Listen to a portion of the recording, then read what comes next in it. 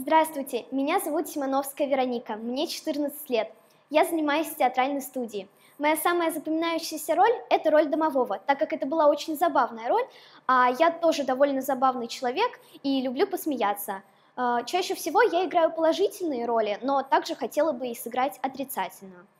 Еще я умею играть на укулеле, я учусь сама по видеоурокам из интернета – еще я рисую, мастерю, плету из бисера, вяжу, а еще веду странички в различных соцсетях. Это все. До скорых встреч!